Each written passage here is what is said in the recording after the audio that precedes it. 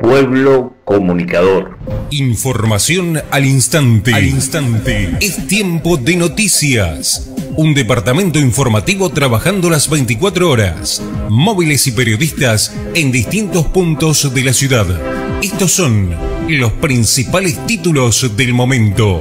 Bueno, hoy domingo nos encontramos en el Yuti, ya que está la gente, los estudiantes, la generación de oro, la, la generación de relevo que tiene voz y voto en esta democracia participativa. Estamos aquí con el centro de estudiantes y vamos a dar unas declaraciones que todo el país, toda la patria tiene que saber. Claro que sí, bueno, buenos días, mi nombre es Jesús Cordido, consejero directivo del centro de estudiantes. Bueno, nos encontramos acá el día miércoles debido a que le quisimos levantar una protesta cerrando la universidad por algunas insuficiencias que hemos tenido desde, algunos, de hace un tiempo para acá, que hemos venido, hecho algunas denuncias también. Y bueno, teníamos tres puntos en agenda desde el día miércoles para acá.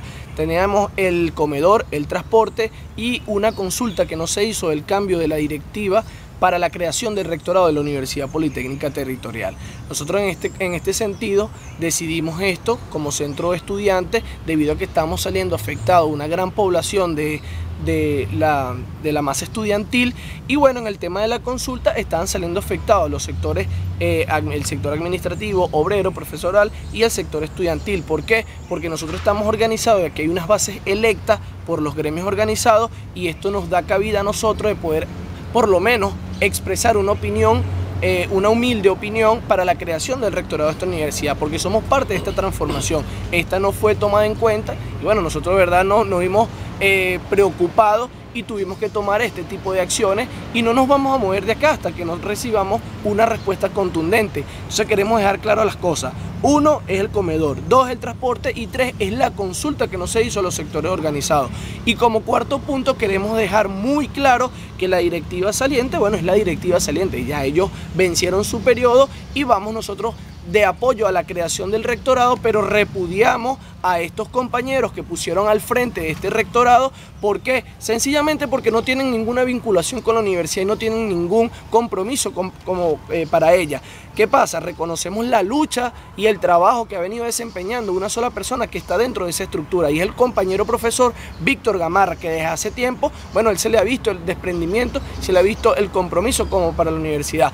Esto quiere decir que nosotros este, no no, no, reconocemos a las demás personas debido a que ellas no tienen ningún trato, ninguna vinculación y no han estado de, manera directa inmersos dentro del proceso revolucionario. Aparte que para ellas, bueno, nos encontramos con que dentro de la estructura, en la parte de bienestar estudiantil, nos encontramos con la, eh, una persona llamada Sor Angélica Verastegui que tiene vinculación y tiene esta foto directamente con eh, Leopoldo López, un asesino que sabemos que está detenido, está pagando por la muerte de 43 venezolanos, bueno, por aquella llamada a la salida, a la salida democrática para salir del gobierno eh, constitucional y legítimo del comandante Nicolás Maduro. Entonces, bueno, nosotros nos mantenemos aquí verdaderamente este, preocupados eh, hoy en día porque no manejamos información el sindicato, que es la denuncia que queremos hacer hoy también, que es el de sindicato administrativo, están haciendo un llamado para el día miércoles a abrir las puertas a la universidad de manera violenta con obreros y estudiantes que están convocando. Queremos hacer responsable de esta irresponsabilidad, queremos hacer responsable a tres personas, que es Rosana Olivero, Evan Acosta y a Johnny Zambrano. Rosana Olivero es la que es la profesora que salió en el rectorado en la Gaceta Oficial.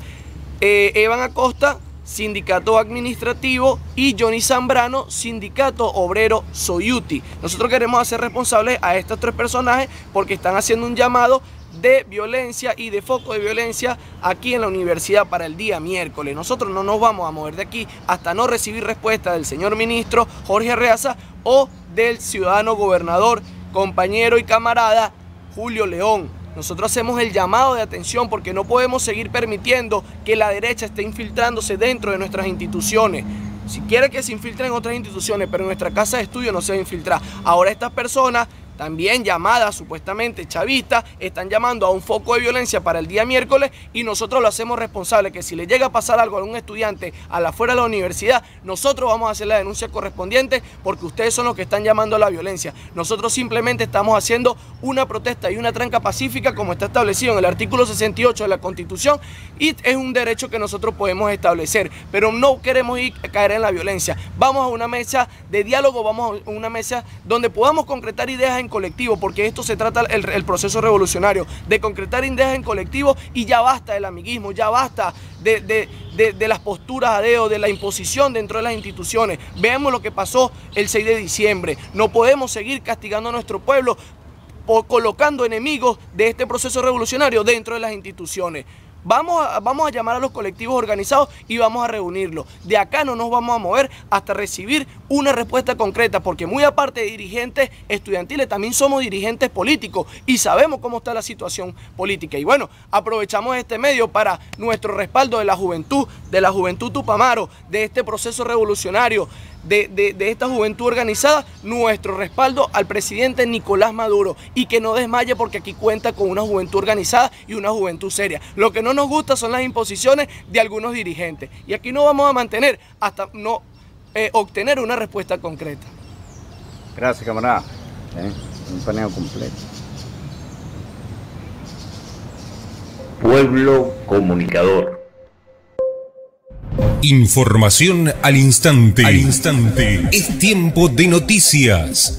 Un departamento informativo trabajando las 24 horas. Móviles y periodistas en distintos puntos de la ciudad.